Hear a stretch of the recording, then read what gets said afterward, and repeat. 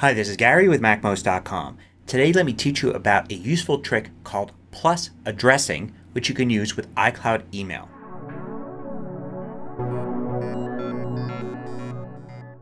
MacMost is brought to you by a great group of supporters. Go to MacMost.com slash Patreon.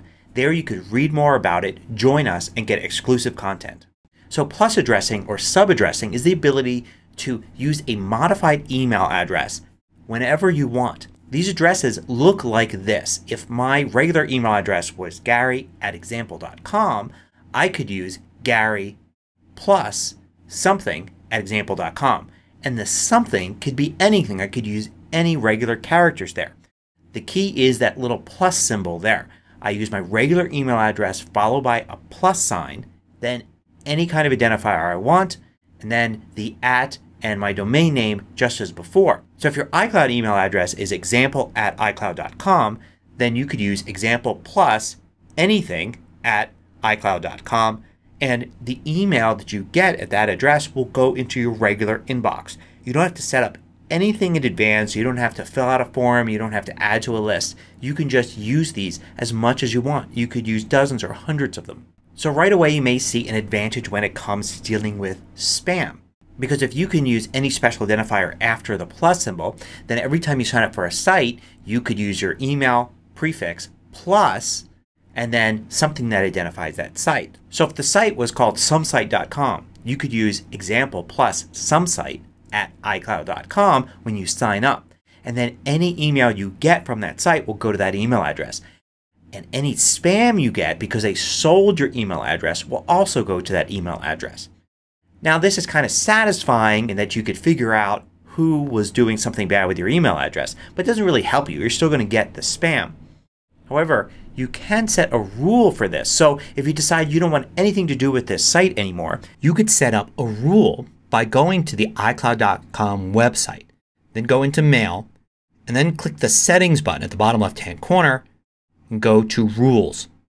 And here you can add a rule and you can set it to is addressed to. So there you can put the plus address example plus some site at iCloud.com and decide what to do with it. So you can have it automatically move to the junk folder or just move to trash.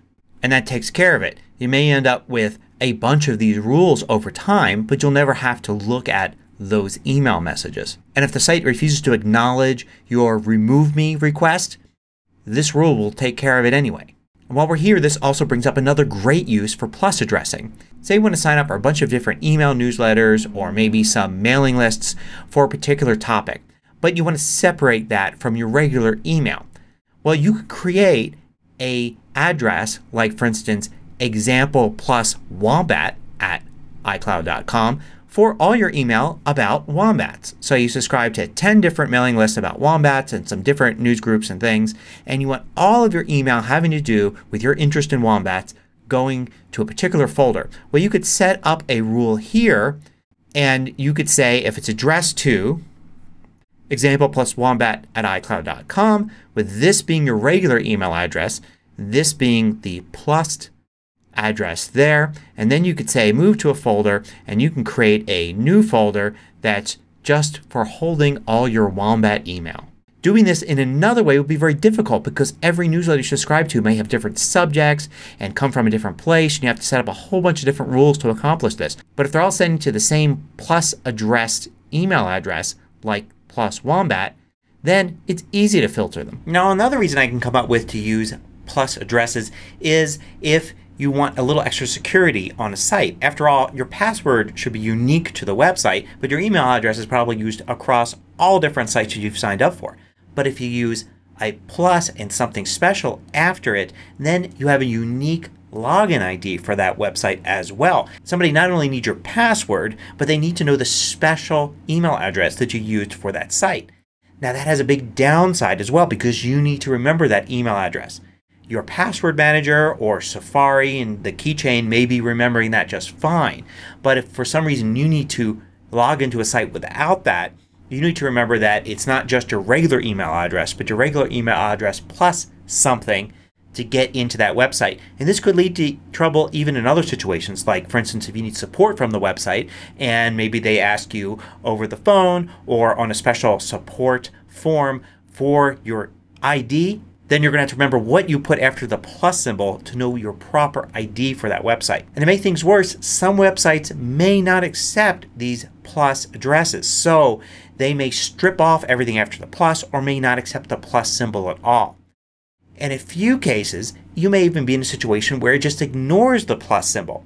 This could lead to some sticky situations. For instance, if you're using example plus some site at iCloud.com as your login, that might be seen as exactly the same as example some site at iCloud.com. In other words, without the plus symbol. And that could be somebody else's email address, leading to problems for them and for you.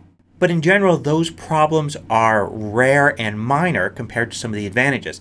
I wouldn't overuse this, and I would definitely not use this where you think another human being is going to be seeing your email address on the other end because sometimes it can look weird to them and feel a little weird to get an email with a little flag of distrust on it. I should also note this works with other systems, not just iCloud. As a matter of fact, this started with Gmail. So if you're using Gmail, you can use plus addressing. If you even have a Gmail server, in other words, your own domain, but Google is handling it, then you can use it. A lot of other email services as well, probably not old ISP email, but more modern email services will. It's easy to test. All you need to do is use some other email service, another email address you may have. Try sending yourself an email with a plus something after the prefix or having a friend trying to send you something with a plus something after the prefix. See if it works and if it works you know that your service supports plus addressing.